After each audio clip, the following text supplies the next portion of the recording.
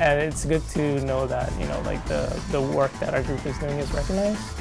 Um, you know, it's, it's definitely gets me through those late nights, you know, because, you know, like, especially like this week, like, you know, like last night I was in the lab until like, yeah, like midnight in the morning.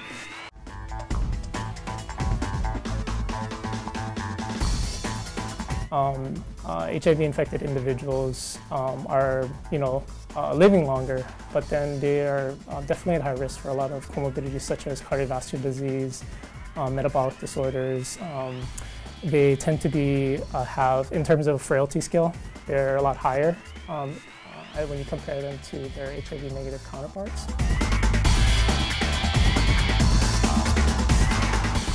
We excised the lymph nodes and um, we did our um, immunological assays as well as immunohistochemistry to look at um, uh, determined um, immunological mechanisms that may be driving fibrosis within these tissues.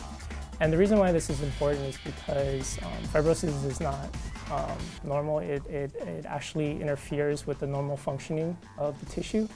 And the lymph nodes are important for immune function.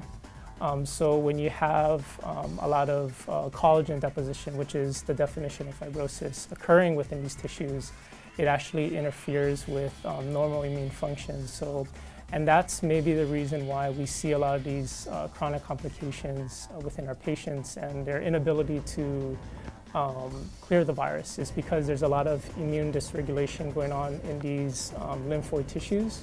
Understanding the mechanisms that may be driving this, um, this dysregulation within these tissues may give us an idea of how we can intervene.